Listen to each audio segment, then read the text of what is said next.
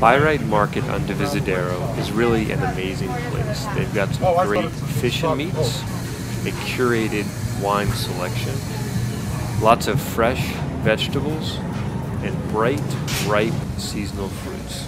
And check out the inside scoop at Relish for this one, but they've also got some tasty sandwiches that you don't want to miss.